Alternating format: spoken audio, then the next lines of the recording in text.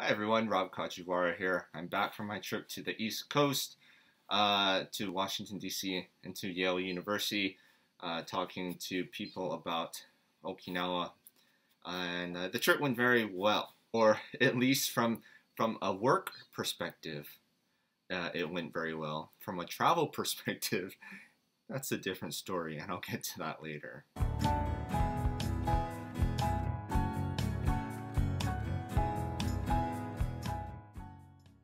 So, first, I went to Washington, D.C., where a couple members of my team and I uh, met with uh, the offices or the staff, the advisors of uh, quite a few members of Congress. Um, it was individual members, it wasn't all one meeting, it was we met with them uh, individually.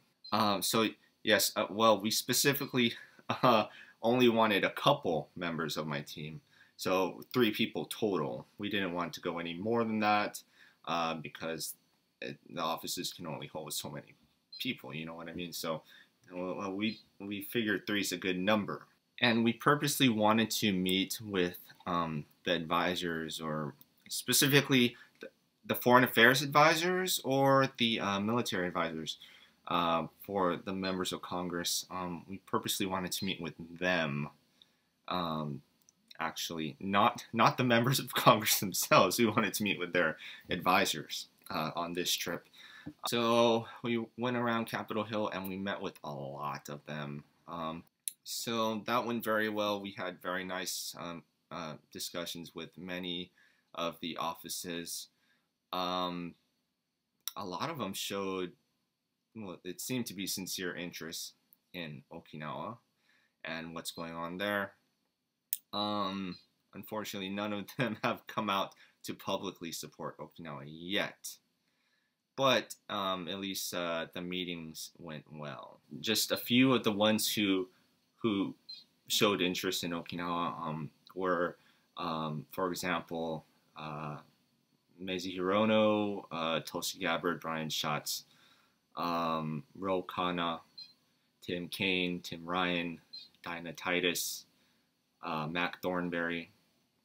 Um, yeah, those were some, uh, just some of them, some some of the ones who who uh, showed interest. So hope well, my team and I we're gonna continue discussions with them, and hopefully um, we get some results sooner rather than later. Hmm, a lot of them also had good feedback and suggestions for us, so uh, th that was very helpful and um, appreciated. And so after Washington, D.C., I went up to Connecticut, to New Haven, Connecticut, uh, where I was invited to speak at Yale University to the um, Asian American, at the Asian American Culture Center, uh, to the uh, Japanese American Students Union. Uh, so first they showed um, a, a, movie um, explaining about the situation at Henoko. Um, and then I, I spoke uh, with the students and uh, they got to uh, ask questions. And we had a question and answer time. It went very well. Uh, the students were great. They asked a lot of very good questions. Um, they were very engaging, and I really enjoyed spending time with them. Most of them did not seem familiar with uh, the situation at Henoko. So this was a pretty eye-opening experience for them, I think they gave me this really nice uh, T-shirt, a Japanese American Students Union T-shirt. You see? You see? That's really nice. Oh, so this is actually the back, but then on the front, there's this. Yeah, it's a it's a nice looking T-shirt. And then uh, they also gave me this this mug, Yale University glass mug and they gave me a, a physical copy of uh, their uh, student, their school uh, magazine, the Yale Globalist, which uh, has a, a, copy of uh, the article that uh, they wrote about me. So I'm very thankful for the omiyage, for the gifts. Um, I really enjoyed speaking with the students up there and I hope we can uh, stay in touch. So thank you very much to Yale University, uh, to the um, uh, Japanese American Student Union for inviting me to speak. I'm very honored to have had that opportunity.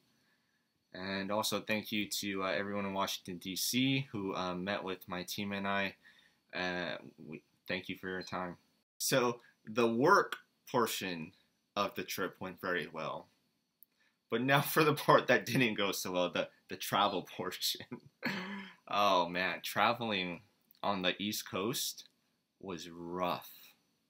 So I had to go from Washington, D.C. up to New Haven, Connecticut, where Yale University is located, right? And uh, apparently, New Haven's a pretty small town. Their, their airport is very small. There's only one airlines that go that goes to New Haven. That's American Airlines. They're the only airlines that goes there. And man, it was a bad trip. First of all, my flight leaving Washington D.C. Uh, it was I was supposed to go from D.C. to Philly with a, a layover at Philly and from Philly to New Haven. Okay, but my flight from D.C. was delayed by 11 hours. Yeah, by 11 hours, and it wasn't due to weather. It was due to airline maintenance and I, I told I told American Airlines, look, I'm speaking at Yale University at 6 p.m. tonight. I got to be there on time. And so um, they got me on a different flight, a flight uh, to White Plains, New York. And they said, I well, first of all, I had no idea where White Plains, New York was. I've never heard of it before in my life. And they said, oh, it's it's 45 minutes, a 45 minute drive from New Haven. No, no problem okay, so I finally land in White Plains, New York, and I, I, I get a taxi to take me to uh, New Haven. And I'm like, oh, it's a 45 minute drive, right? They're like, no, it's an hour and a half drive because of traffic. Oh, so, so hour and a half. I got sick. I got, I don't know what happened, but I got real sick. I got, uh, yeah, I don't think you guys want to know the details about that, but yeah, I was not feeling well uh, on that flight and on that taxi ride. Um, and then it turns out that American Airlines lost my bags. They lost my bags at uh, White Plains. Um, yeah, I don't know. Anyway, so I, I finally got to New Haven and uh, I'm feeling lousy physically, but uh, you know, I, I start to feel better in time for the, the speech at Yale, so that went fine. Uh, I got my bags back, uh, which is a weird story, but uh, yeah, I got my bags back in time to speak at Yale, which is good because I gave people at Yale, uh, you know, a copy of, of, you know, some Okinawan history information. And then, but leaving Yale the next day, um, on my way back to Hawaii. Um, well, first of all, my flights were delayed. All of my connecting flights on American Airlines were delayed. All of them, every single one. Not due to weather. I don't know. They were just late. I don't know why they were all late, but every single one was late. The airplanes were really old and kind of scary. Why would they use such old airplanes? They look I don't know how old these airplanes were, but they were not nice looking. They really weren't. It was they were so small and cramped. I couldn't even stand up fully straight in the inside the airplane. I had to like kind of hunch over because I'm too tall and my head was bumping the the roof of the airplane. And it, I mean, it was it was a rough. It was rough. Uh, the turbulence was was bad.